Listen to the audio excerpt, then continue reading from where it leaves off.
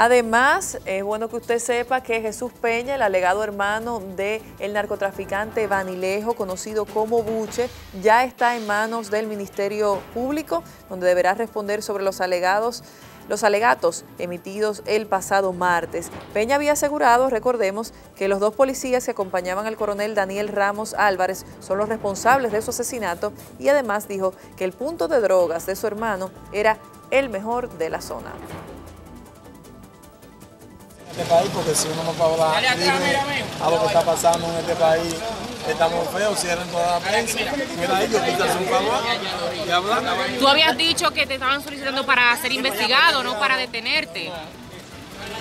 ¿Qué tiene que decirnos de esto? Eh, yo, yo le pido que la prensa tome en cuenta porque este país es libre de uno expresarse de lo que está pasando. Yo simple y llanamente expresé todo lo que vi en la noticia, que se comentaba, Wilton Guerrero decía todo, yo me lo grabé y comenté todo. Más adelante nuestro compañero Rodney Heredia nos abundará sobre este tema.